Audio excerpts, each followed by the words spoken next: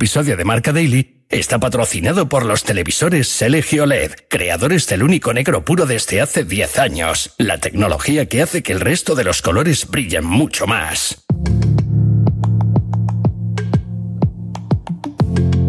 Soy consciente del trato recibido aquí en mi etapa anterior, del cariño que me demostró eh, la afición, todos eh, y por supuesto todos los profesionales del Villarreal con los que tenía relación directa. Pero también lo digo, soy Marcelino García. Eh, ya sabéis que, bueno, pues casi todos me conocéis como Marce, pero no me llamo Salvador ni me apellido Milagros.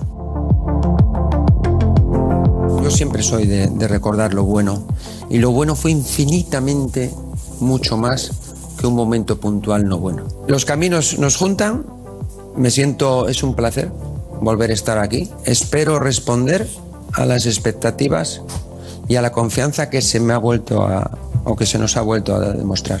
El reto no es fácil, pero sí que estamos absolutamente convencidos que con nuestro apoyo y el trabajo, profesionalidad y capacidad de los futbolistas, pues intentaremos llevar al Villarreal al lugar que le corresponde. Más de siete años después de su sorprendente despido del Villarreal, Marcelino García Toral vuelve a la cerámica. El técnico asturiano vivió ayer su segunda puesta de largo como preparador Groguet hasta 2026 y con un reto diferente al del ascenso, pero de nuevo tendrá que buscar revertir una tendencia negativa.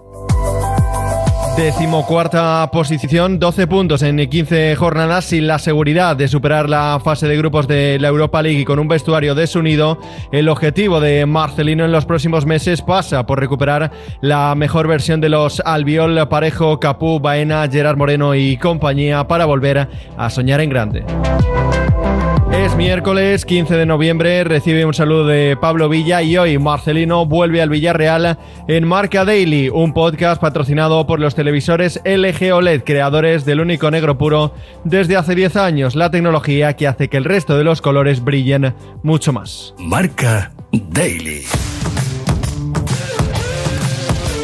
Javi Lázaro, la voz de los partidos del Villarreal en eh, Radio Marca y Víctor Franco, responsable marca del Villarreal, nos van a contar cómo se ha vivido el regreso del asturiano en Villarreal y qué debe tocar el de Careñes para revertir la tendencia. Víctor, ¿es Marcelino el entrenador ideal para cambiar la situación? En ese caso es verdad que en Villarreal no hay ningún tipo de duda al respecto respecto a la figura de Marcelino. Es más, nunca se ha visto una unanimidad tan exagerada como en esta ocasión, tanto dentro de la directiva como en todo el entorno, y hablo ya de aficionados del Villarreal Club de Fútbol, respecto a la idoneidad de que sea Marcelino García Toral quien tome las riendas ahora mismo del Villarreal. No se duda nada sobre él, ya tuvo una etapa deportivamente muy exitosa en Villarreal, con cuatro temporadas espectaculares, con un ascenso a primera y metiendo a un equipo que entonces venía de segunda división, años consecutivos en Europa, incluso alcanzando también unas semifinales de Europa League y llegando a puestos de Liga de Campeones.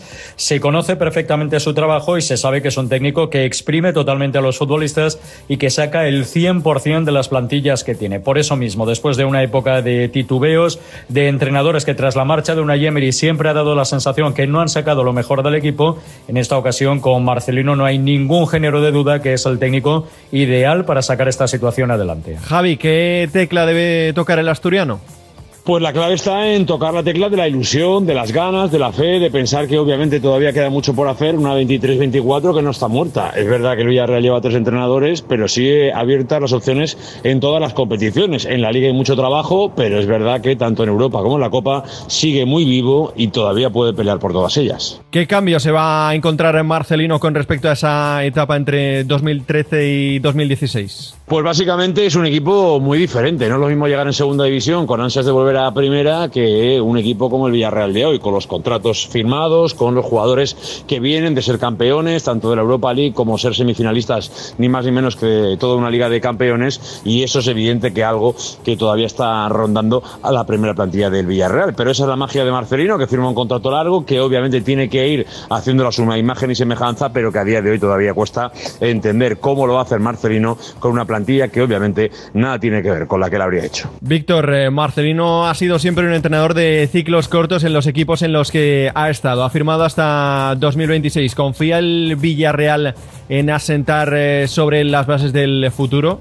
Lo que está claro es que si en algún lugar conocen bien a Marcelino es en Villarreal. No en vano estuvo trabajando tres temporadas y media, es el club en el que más tiempo ha estado y conocen perfectamente sus virtudes, sus defectos y cómo es el técnico del Villarreal.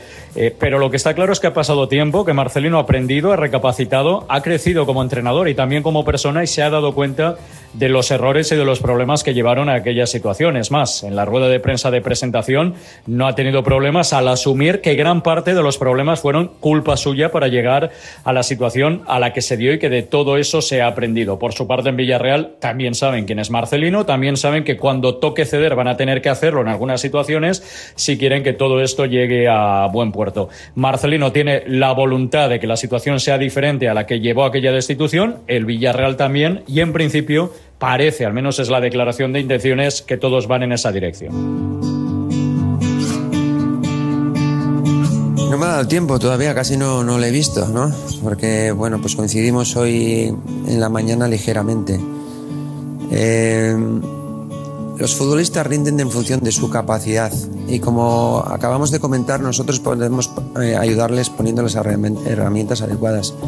Pero el nivel que demuestra cada futbolista es por él. No es porque el entrenador sea capaz, o yo no lo entiendo así, de sacarle el mejor rendimiento. Puede darle indicaciones correctas, eh, puede eh, pues indicarle un camino, darle consejos y luego entrenar como el resto de compañeros.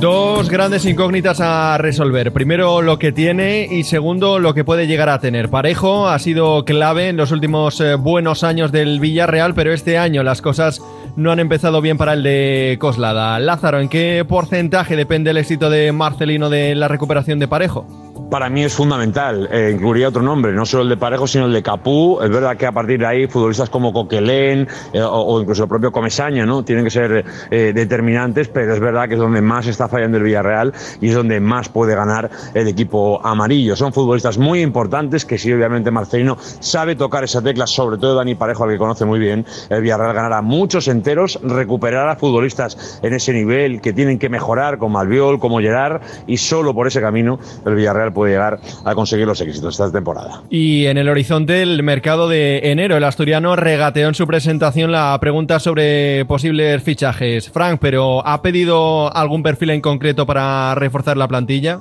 No, pues en ese sentido ya conocemos que Marcelino es un técnico al que precisamente no se le va la lengua a la hora de confirmar este tipo de situaciones y además él sabe que llega a un club que es absolutamente hermético también al respecto.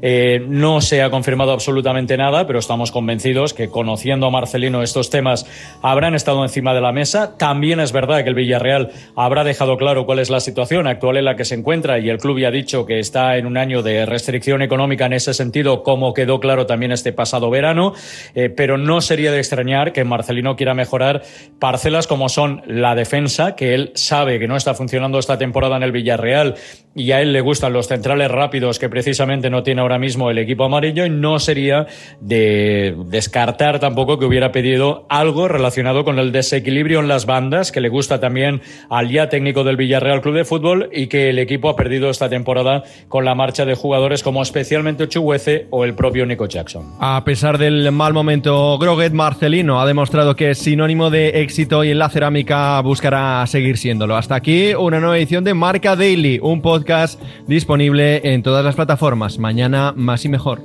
Hace 10 años, LG creó el único negro puro, un hito en la historia de la tecnología que hizo brillar millones de colores.